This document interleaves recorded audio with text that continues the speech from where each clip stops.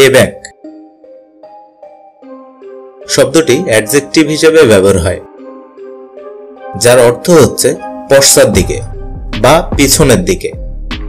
উদাহরণস্বরূপ বলা যায় পুল এব্যাক যার সিনোনিমস হিসেবে আমরা ব্যবহার করতে পারি ব্যাকওয়ার্ডস ওয়ার্ডটি।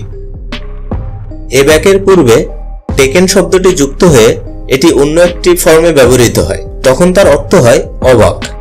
যার ইংরেজি সিনোনিমস হচ্ছে সারপ্রাইজড এর উদাহরণস্বরূপ বলা যায় দে টেকেন এব্যাক